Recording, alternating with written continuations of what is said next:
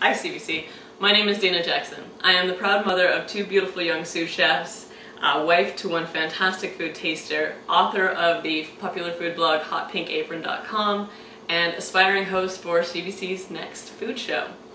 Uh, for you today, I am going to prepare my fresh Niagara Region peaches and cream brown butter crepes. So crepes are, are kind of like a perfect flat canvas for sweet and savory dishes. It's like a very thin pancake that I find some people are a little intimidated by because it has that French gourmet appeal to it. But realistically, it's so unbelievably simple and it's perfect for dinner, lunch, snacks, sweet and savory dishes. In this case, for the brown butter, I figured that that rich nutty flavor that the browning of the butter will give it will pair perfectly with some nice fresh peaches. Few things beat a fresh, juicy whole peach. But when cooking and baking with peaches, it's often recommended that we actually remove the skin of the peach and leave only the flesh.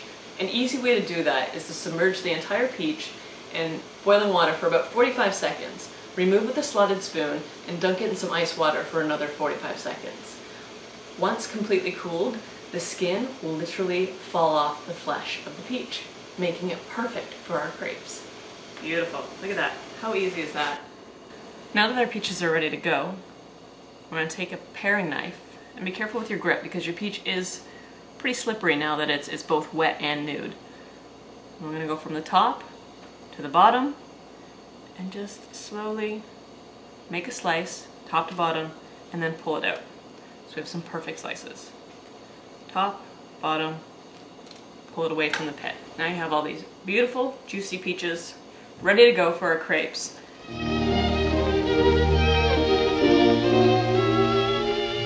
The ingredients are very similar to the basic pancake recipe aside from the fact that we're not using a leveler like a, a, baking soda or a baking powder to raise it. We want to keep them nice and thin. Half a cup of all-purpose flour, a dash of kosher salt, uh, four farm fresh eggs, half a cup of butter, and one and three quarter cups of 2% milk, but you can use whole milk as well.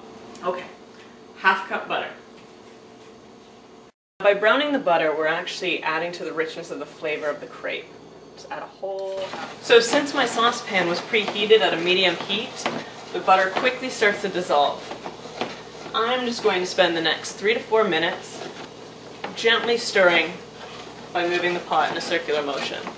I don't want to cook the butter, I want to brown the butter.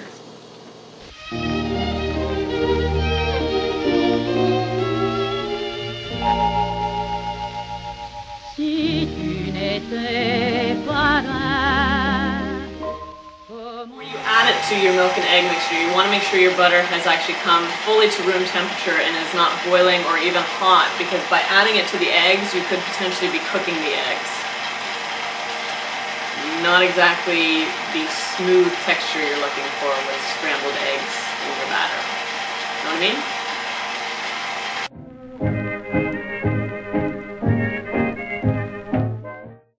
Don't fear the crepe. It's not difficult, it's just a little bit more delicate than a, than a pancake. Prepare to sacrifice the first one for taste and technique, but once you get the rhythm down, you'll be golden.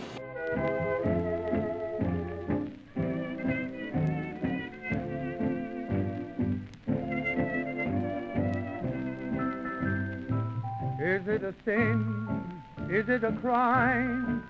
Loving you dear like I... Time for my favorite part of the process, filling our crepe. Now I'm going to use an English double Devon cream. You can find this in the dairy section at most grocery stores. Maybe I'm wrong, dreaming of you. And there you have it. One peaches and cream brown butter crepe. Et voilà. Bon appetit guilty of dreaming of you. Always feel just the same. Maybe I'm right, maybe I'm wrong.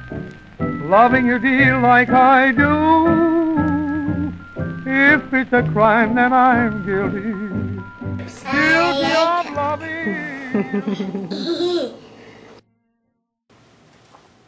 my crepe is like a food hug for my peaches.